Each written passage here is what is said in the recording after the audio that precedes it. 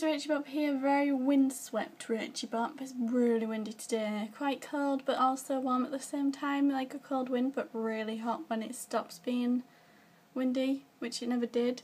Does that make sense? Probably not. It's quite sunny um, and really all this video is just showing you the lifeboat launch.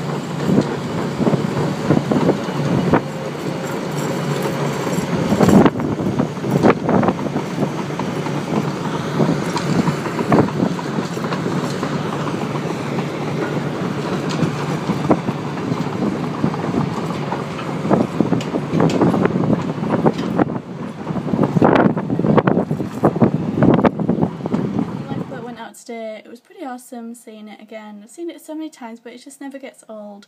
It was just going out for training, I believe, because it was sort of dashing about all day around the ocean and really going up and down because it was so choppy. But um, yeah, it was lovely to see, and I hope you enjoyed a little bit of footage of it. I hope you're having a happy Sunday.